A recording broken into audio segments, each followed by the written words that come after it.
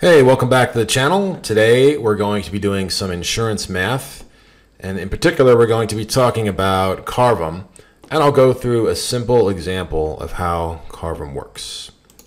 So, what is CARVM? It stands for the Commissioner's Annuity Reserve Valuation Method.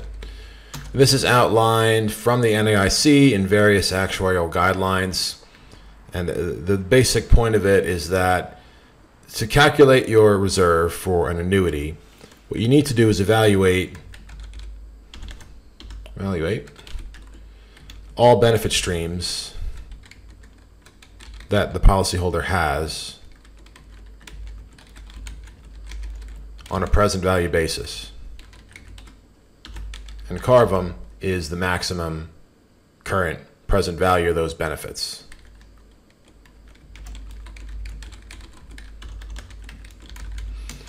When it comes to CARVM, at least at this point, for this example, I just want you to think about surrender charges. In fact, whenever you hear the word CARVM, think surrender benefit because that is usually what dominates the CARVM calculation. And we'll go through a simple example here.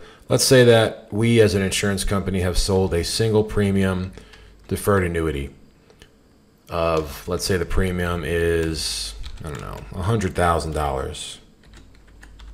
So someone bought an annuity from us, paid us 100,000 and we are now deferring it and letting it accumulate until it's time to cash out. During the initial period, there's going to be a surrender charge on that annuity. Uh, so we'll just we'll just map it out. Let's assume that there is a seven-year surrender charge. So end of year, we'll have a time zero, and then we'll have eight years. You'll see in a minute that it's uh, important to evaluate the surrender charge benefit at, at, the at the immediate time that it ex expires. So first, we're going to need some rates. We're going to need some guaranteed rates and actual rates. So I'll just go ahead and assume that we've sold this annuity and we've guaranteed a rate of, let's say, 3% a year. So that's the floor. The, the policyholder is guaranteed to grow their account at 3% a year, no matter what the market does. And then we have some actual rates. So what, what has the market actually done? This policyholder has taken their annuity money and they've allocated it to a separate account and they've instructed us to invest it in let's say the S&P 500 index or the Russell 3000 or, or, some combination of indices or investments for them. And the actual rates are, let's just say they're a little higher than the guaranteed rate every year. Uh, we'll, we'll go back and play with it later. So now the final rate that we guarantee the policy, that we actually pay the policyholder is going to be the, the greater of those two rates. Right? If the market rate is lower, then the guarantee rate, we'll pay the guarantee rate, else we'll pay the market rate. So now we can look at the accumulated um, value of those rates. So this is for the final rate. So at time zero, the accumulated value is one. At the end of year one, when I say one, I mean 1.0. 1.0, come on, 100%, fine. So at the end of year one, we've given them 4%. So that means the new accumulated value is 100% times 1, 1 plus 4%. There you go. And it grows substantially over time. Right? So I'm going to drag it down, Control D, and it's going to grow to be 137% of the initial value after eight years. So that's, that's great. Sometimes with an annuity, we will add a front end charge, which is just a fee that we take once we accept the premium. I'm going to make it 0% at this point, but we can change it later. And we also have what's called a back-end charge. I guess I should say this is the front-end charge. The back-end charge, and this is also called the surrender charge. So if you surrender the policy during the initial couple years, we will take a piece of the account value to compensate us as the insurance company for writing the policy and paying the huge commission that we had to pay for the, uh, the person to, to place the policy with us and get those investment earnings. Let's just say it's 8% for seven years and then it goes away and it becomes 0% in year eight. So this is the benefit that we're defining here. The benefit to the policyholder in year eight is that the surrender charge goes away. So that, that's the benefit stream that we are evaluating. And I'm doing this because this is the dominant stream that usually insurers worry about when they sell annuity business. So now we have the fund value. So we can track that over time. And this is just purely the, the value of the fund accumulated at uh, the value here. So if we start at time zero, we have 100,000 times 1 minus any front end charge that we would put in there. That's our initial value. And then at, uh, at each period of time, it's going to be kind of the same, right? In fact, I can hard code these. B6 will be the initial fund value. At time one, the fund value is going to go to 100,000 times 1 minus the front end charge, which I'm just keeping it the same column wise, and multiply that by our accumulated value. Okay. So that goes up to, should go up to 137%, 137,000. That looks right. Great. So now we have to calculate our cash surrender value, the CSV, which is simply equal to the fund value times 1 minus the back end charge, the surrender charge. All right, so even though your fund value is 100,000, if you surrender the policy immediately or in year one, you're only going to get 92,000 back. We take 8% as a back end charge and so on. So there you are. You have it. We have our surrender values. Um, and you'll, you'll note that the, the surrender value goes up substantially after year seven. It pops up to 136 from 121. The CARVM requires you at any valuation point to take the present value of all the future CSVs and take the highest value as your CARVM reserve. And that may or may not be higher than your fund value. But let's say that we want to perform a valuation at time two. Okay, so the valuation point at time two, we're asking what is CARVM at this time. We also need a little, little bit of extra info. We're going to need the valuation rate. So what are we going to discount at? That is usually going to be near, near the guaranteed rate. Let's say it's 3%. That's another key input here. In fact, I'll, I'll put it up top here because we'll, we'll use this area up top to track the final results. So now we make another column for PV of CSV. And we only care about it at time two. We're evaluating the policy at time two, let's say. So at time two, the present value of the CSV is just the CSV at time two. The present value at time three, which is one year hence from time two, is going to be this CSV value times 1 plus the valuation rate hard-coded to the negative 1 power. So we're discounting it back one year. I'll make a little formula that makes that easy. So uh, it's going to be year 3 minus year 2, and year 2 is just going to be hard-coded. So now we have a, a, a PV of 106,000. Oh, negative. Negative. There we go.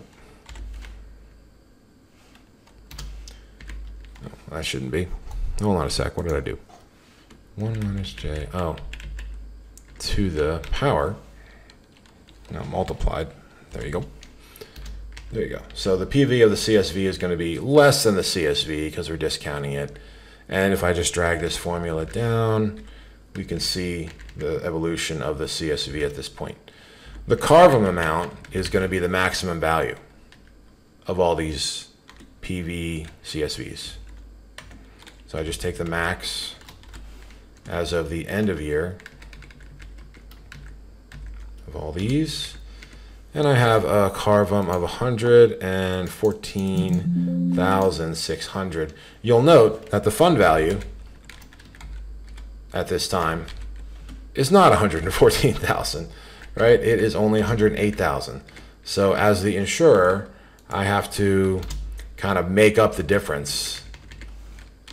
I lose max of zero and this minus that. So I have to make up the difference of, of 6,000 bucks for this policy. This is the reserve I have to hold, the 114. This is the, the actual fund I have. So I have to pay six grand. I, I lose that money in reserve strengthening to make this policy happen. So this is a really simple example of how CARVM looks. And the surrender charge is usually the dominant thing.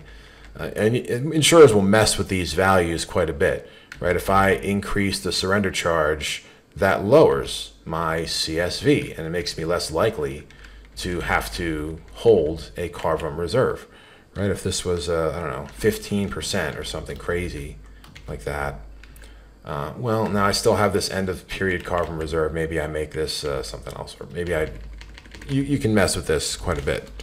Usually they, they try to give you like a smooth evolution of surrender charge from a high number down to a low number. Still, this sticking point at time eight doesn't just go away. You can increase your valuation rate, right? And that will drop it a little bit. Let's say I value it at 4%. Uh, that, that might make sense because I'm actually earning 4%. So if I do that, now my CARVM is, is pretty much the same. Well, it is the same as my fund value because the actual rate is equal to the valuation rate. I have to justify why I need to value this at 4%, or maybe I might make it higher to get rid of my CARVM entirely, right? So now I lose nothing if the valuation rate is a little, little higher.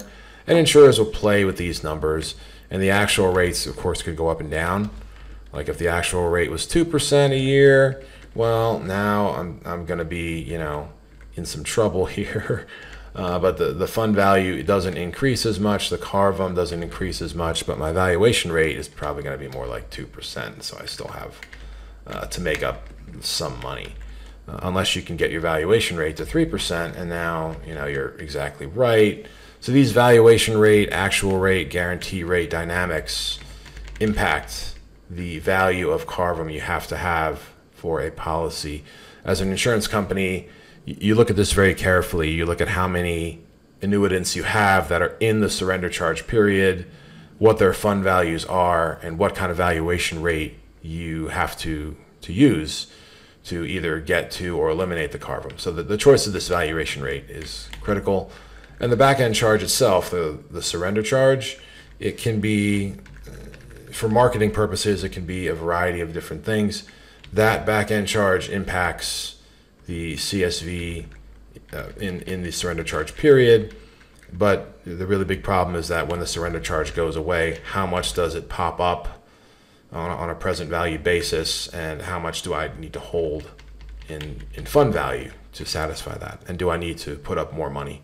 So there are plenty of scenarios where uh, your valuation rate, in this case, if your actual rate is 2% and you're crediting 3%, uh, you're probably going to have some CARVM there because your valuation rate is going to be corresponding mostly to the actual return that you're getting and not to the rate that you're guaranteeing. So the last thing you want as an insurance company is to have low returns uh, on an actual basis during the CARVM period because now you have to hold extra money to satisfy the CARVM CARVM reserve. So that's a really basic CARVM reserve, we've only looked at surrender charge. It tends to dominate the calculation, but there are plenty of other charges that add to this benefit stream. In some later lectures, I'll come back and I'll show some, some other work, some maturity benefits, some GMDBs. And you also have to remember that this is what they call, I guess, curtate CARVM. And that means that we're, we're calculating the CARVM at the end of the year. But theoretically, you, you could get hurt even more by the policyholder, depending on what happens between each of these years.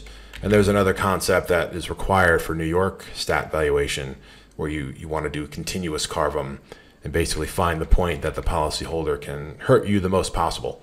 So we'll, we'll go through that in a later lecture. But this is at least an introduction to how CARVM works with what is usually and arguably the biggest benefit stream that a policyholder has, and that is the surrender charge going away. Thank you.